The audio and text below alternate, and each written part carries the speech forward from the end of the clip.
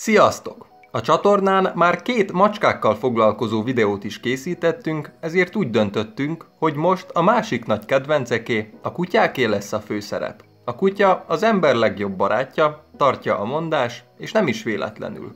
Ez az őszinte barátság legalább 14 ezer éve tart, erről rengeteg, kőkorszakban keletkezett barlangrajz is tanúskodik.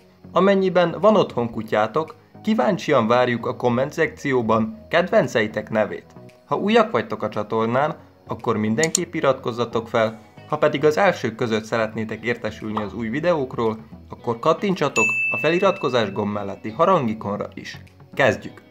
A mai videó elsődleges célja, hogy ismertessük veletek bizonyos kutyafajták főbb jellemzőit és igényeit annak érdekében, hogy megtudjátok, milyen kutya illik hozzátok. Az ember eleinte vadászatra tartotta négylábú társait, ám miután felismerte a faj intelligenciáját és sokoldalú képességeit, egyéb feladatokra is alkalmazni kezdte őket. Manapság már sokszor családi kedvencként tartják, így módon őrizve és gazdagítva a régi barátságot. Tudni kell azonban, hogy a kutya nem holmi játékszer, egy kutya gazdájává válni hatalmas felelősség.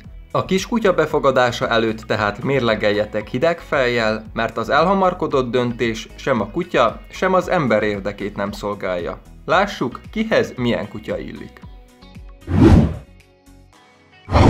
A pásztorkutyák az ember ősi társai, akik egykor a nyájat védték a ragadozókkal szemben, emiatt érthető, hogy nagy a mozgásigényük.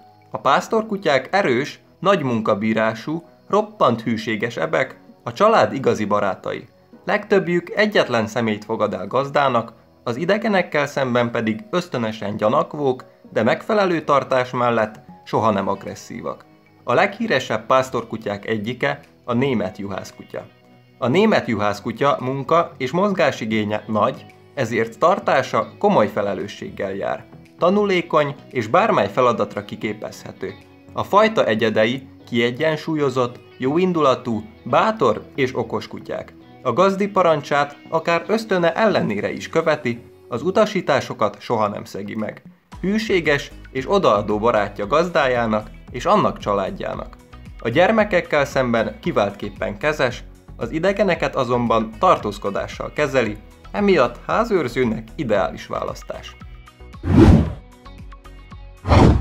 A Doberman számos tulajdonságában hasonlít az előbb említett német juhászkutyára. Kiváló őrző, védőkutya, aki tűzbe megy a gazdájáért, idegenekkel szemben azonban, főleg felnőtt korában erősen bizalmatlan.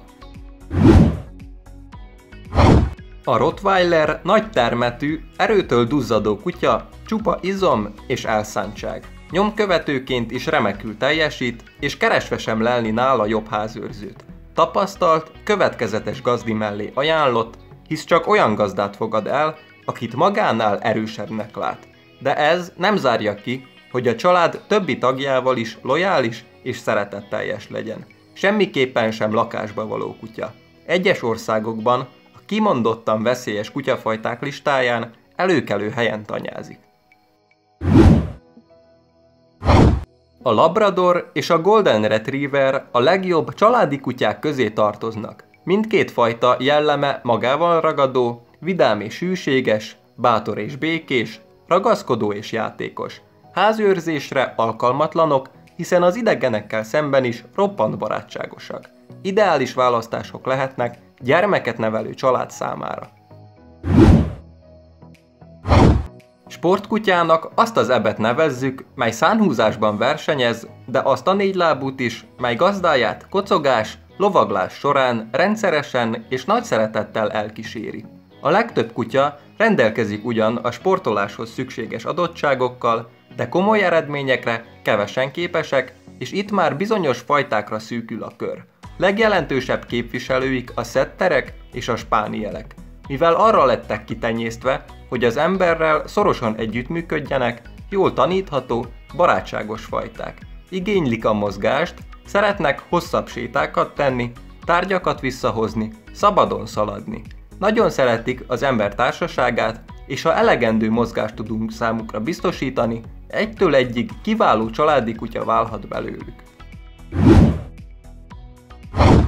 Kedvtellésből tartott fajták ölebek kategóriájába esik az uszkár, mely alaposan megosztja a kutyabarátok táborát. Sokan tartják ellenállhatatlanul szépnek, mások túltenyésztett, agyonkozmetikázott epként tekintenek rá. Hasonlóan közkedvelt még a mops és a csivava. Termetük kicsi, emiatt mozgásigényük könnyen kielégíthető, akár lakásokban is. Azt azonban tudni érdemes, hogy csaholásra hajlamosak, ezért fiatalkoruktól kezdve fegyelemre kell nevelni őket. Érdekességként megemlítenénk, hogy a YouTube koronázatlan királyának, PewDiePie-nak két mopsa is van. Mai kvízkérdésünk velük kapcsolatos, ugyanis a nevükre lennénk kíváncsiak. Ha tudjátok, írjátok meg kommentben. Ezzel a videó végére értünk. Ha tetszett, nyomjatok egy lájkot, és ha még nem tettétek, iratkozzatok fel. Ennyi volt mára, találkozunk a következő videóban. Na, sziasztok!